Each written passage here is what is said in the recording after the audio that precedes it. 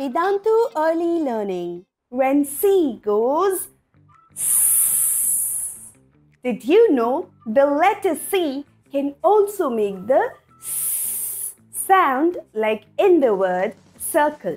Hang tight because in this video we are going to find out the reason together. Hello spelling wizards, I am Angel, your spelling buddy and I am back with another spelling rule that tells you when to use the k sound or the sound for the letter C.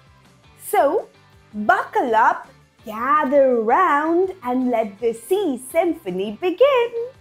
So, today we are looking at various sounds letter C can make. Like every other alphabet, Letter C also has its own unique sound, which is like in the words carrot, coin, camel. So here's your first rule of the day. Letter C makes the k sound when it is followed by the vowels A, O or U. Let's look at a few examples. Cap, cob, cup.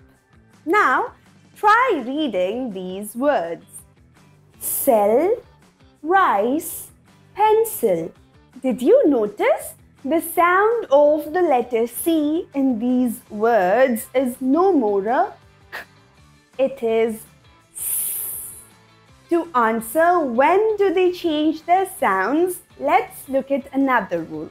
Letter C makes the s sound which is also called the soft C sound when it is followed by the vowels I, E and Y. Let's look at a few examples. Ice, city, cycle. Time to test your knowledge. Guess what sound does the letter C make in these pictures?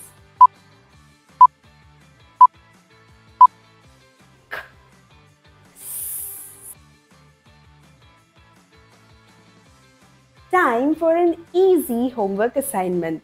You'll have to find out which words make the k or the sound in these sentences.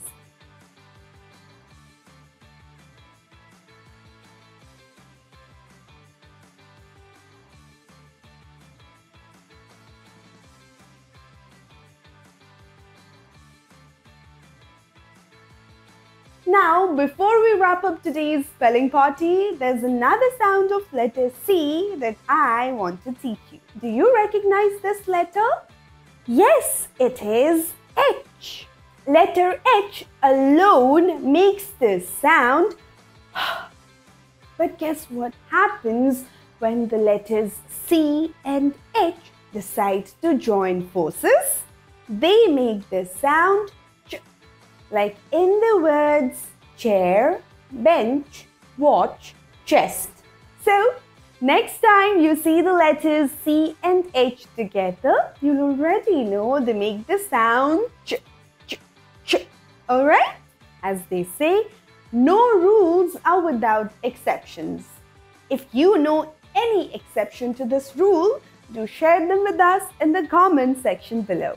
And if you are interested in learning more such spelling rules, then don't forget to ring that notification bell, hit like, share and subscribe.